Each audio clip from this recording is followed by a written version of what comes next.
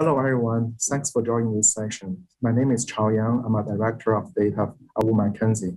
Today, I will join Yan Yan Wu, the VP of uh, data, uh, data at Wood Mackenzie, to show you guys some of our recent work in bridging the completeness of big data on data Databricks.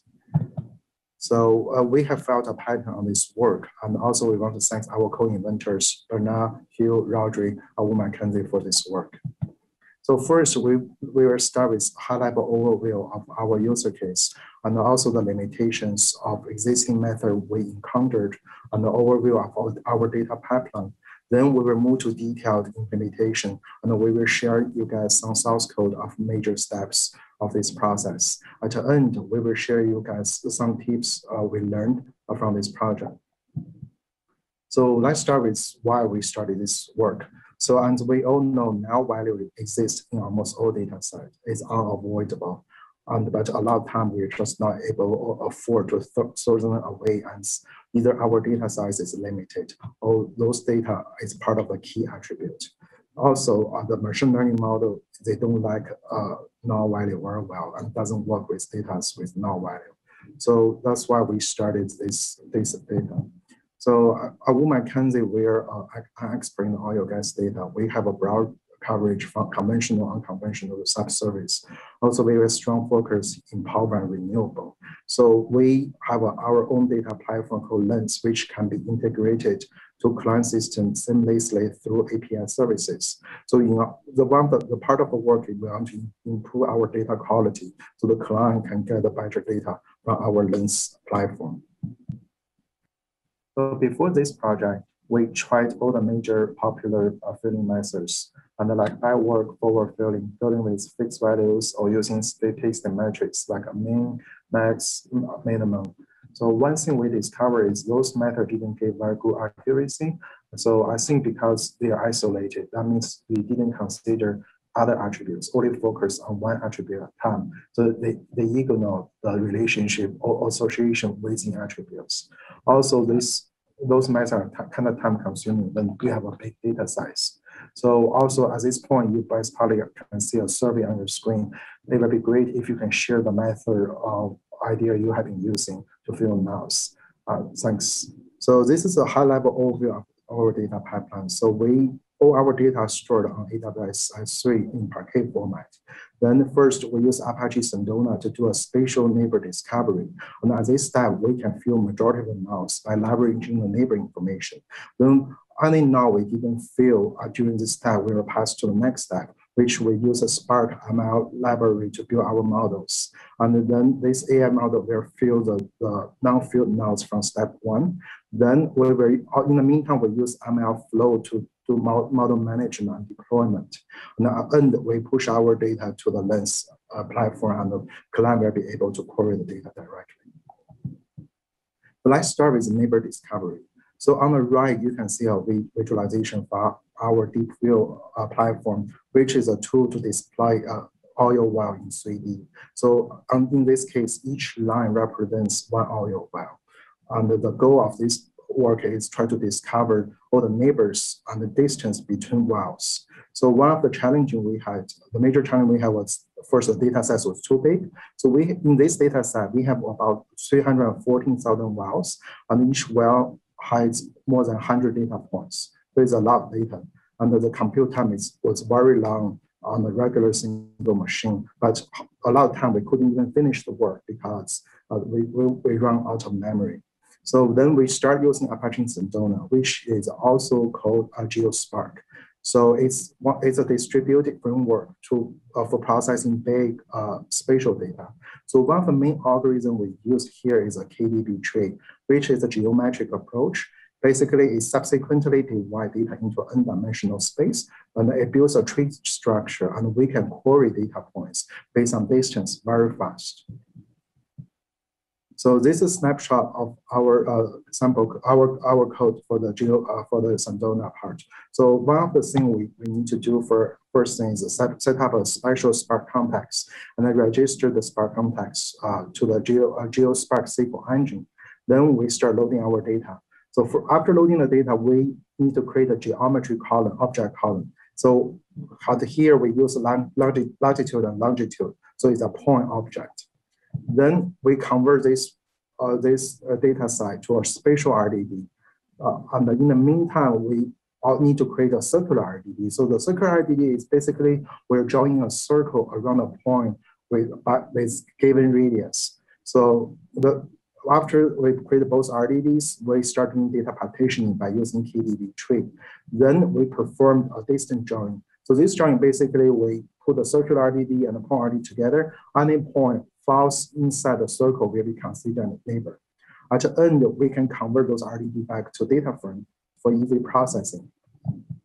So this is some simplified uh, output of our data set. So on the left, the left geometry, which represents one well, and you can see uh, on the left geometry is all the nearby wells. And also we have distance around that of between them. So at this step, we, we can leverage the neighbor information to start filling the null values. So we tried average, weighted average regression models, and we found out the weighted average uh, gives very good uh, results. So anything we didn't fill here, we will pass the uh, to the next step is using a collaborative AI model to fill it. Thanks, Chao, for covering the earlier portion. As Chao mentioned, the first step uh, we're using uh, GeoSpark, uh, discovering the neighbor information to fill the nulls with the neighbor info information. And then because of there's a, a constraint uh, distance that you can use for search the neighbors. So there's after the first step, there's still some uh, null value is not filled. So we pass on uh, those uh, information to um, the second step, which is using collaborative AI to fill the nulls, uh, rest of the nulls. And then this is actually, it's not a new methodology. We leverage a popular method, uh, collaborative filtering AI for uh, movie recommendations or song recommendation. People do that all the time.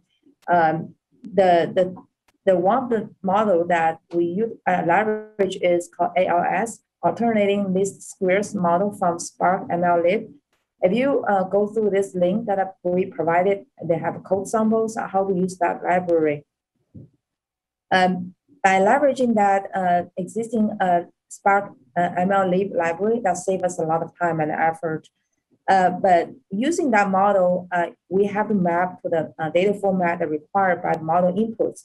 In this model, they have three columns you have to shape your data to. One is user ID, which is corresponding to object or object group ID.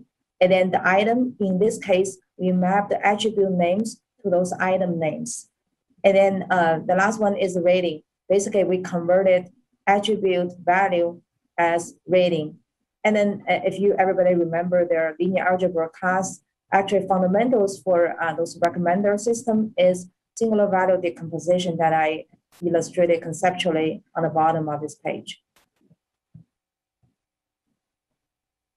This is the screenshot of the code we use for using the collaborative AI by leveraging uh, Spark MLlib um, ALS um, model to uh, fill the nulls. So the first step we did is actually um, is just to set up the MLlib um, ML pipeline.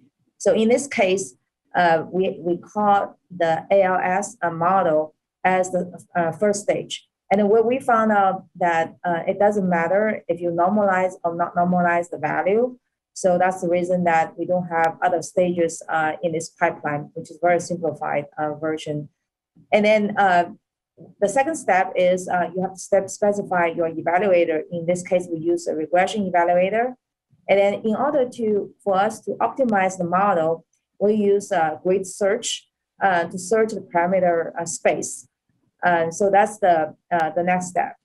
And then the last one is in order to uh, generalize the model to prevent overfitting, um, we use a cross validation uh, for um, to optimize the parameter. Of course, you can use uh, HyperOpt. Uh, you know, those are newer library that we conduct the same um, um, evaluation or cross validation purpose. Um, but in this case, we use a cross validation. But one thing that we um, didn't get a chance to include here, actually, we utilize is it's very helpful to set, set uh, the parallelism uh, parameters in the cross validator. That will help you to save significant amount of uh, training time.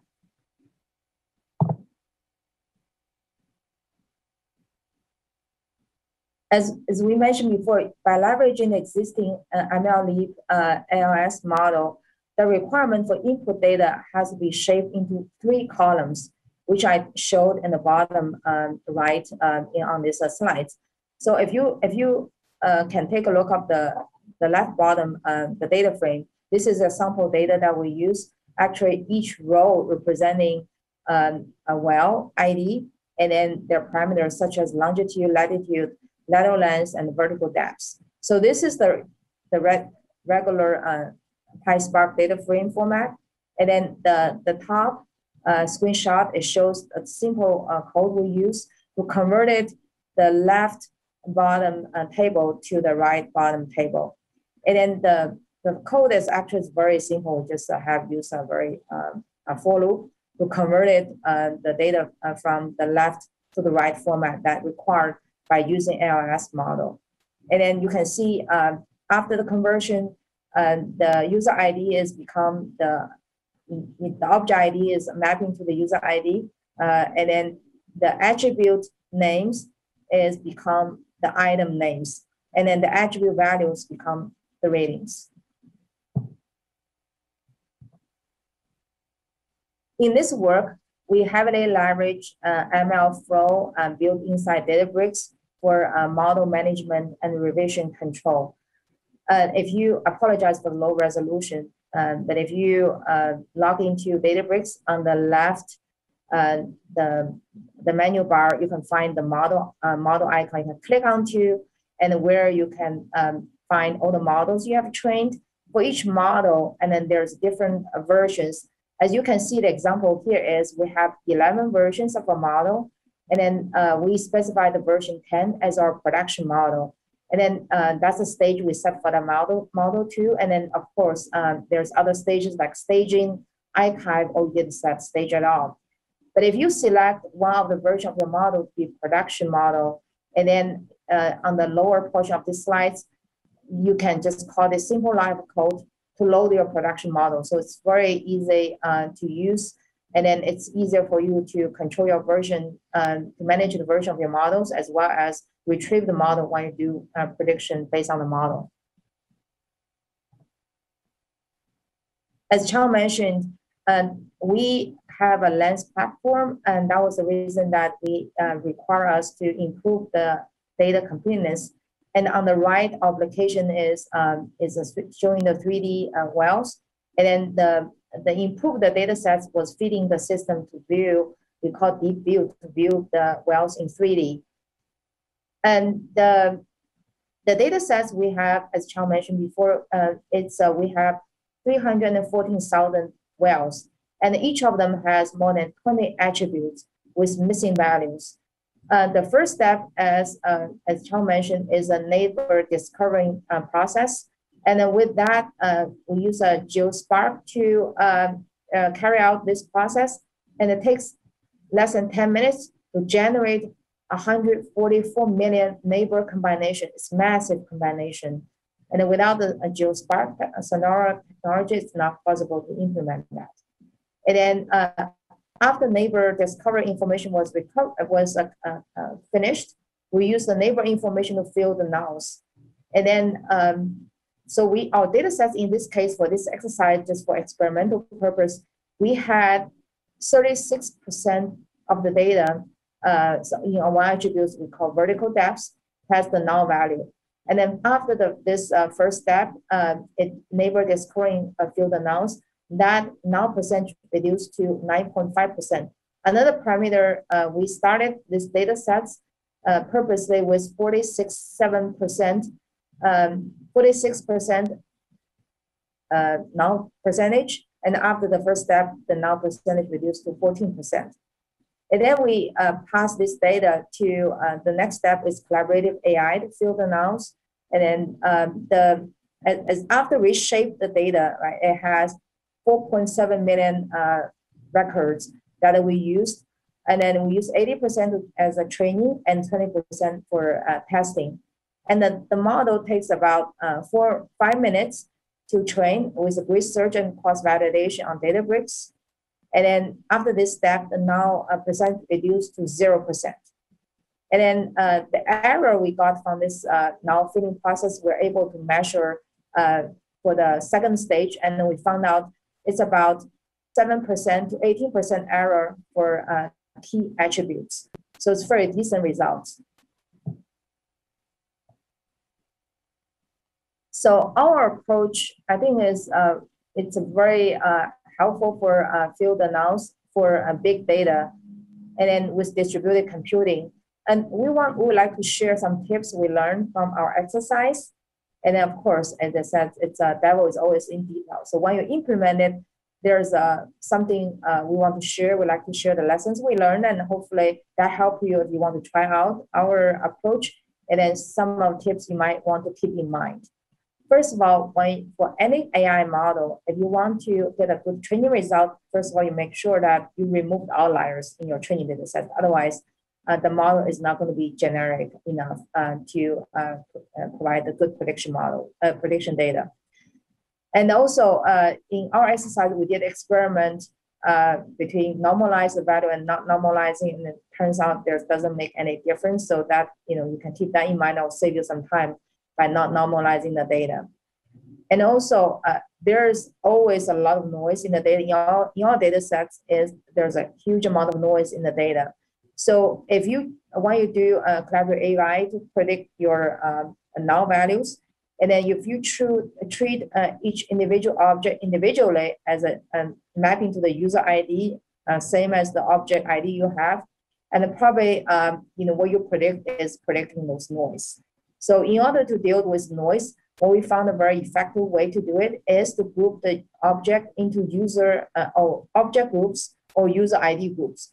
So in this way that you, know, you can uh, effectively reduce the noise in data and then the predicting or modeling results is much better. And also we found out if you have more attributes, the model will lead to a higher accuracy. And then the last one is said is uh, there's due to the uh, due to the uh, noise in the data. If you want to uh, improve the accuracy from uh, the model, you want to make sure that um, the, the the noise is dealt properly. And I also found out there are some attributes, for example, even you um, uh, take some measure to reduce the noise, the noise still there. For example, especially the derived attributes. Uh, for example, uh, you know the, the, the length, the height is uh, independent uh, parameters. Uh, so those are the model will provide higher accuracy than the other ones. For, for example, the sum of the total depths, right, or sum of the total length. So this is dependent parameters. They have even higher noise in the data. So the prediction result tends to be lower than the independent attributes. Yeah, we would like to hear from you if you have any questions. Uh, before that, uh, we would like to ask for favor from you. Hopefully everybody uh, enjoyed the talk and we really hope our talk can inspire a lot of new ideas and new works from you guys. Uh, please provide feedback to, uh, to us and we'd love to hear from you. If you can, please give us the highest ratings uh, for this session. of course, our rating is just a number. But most important, as, as, as I said, we would like to hear your thoughts, your ideas, and your uh, inspiration from you and what you think that we can do more about this work. And uh, again, uh, back to uh, question section, uh, question uh, sessions. please feel free to share the question you may have. We're online to ask, answer your questions. And thank you so much for your time and your attention. Thanks.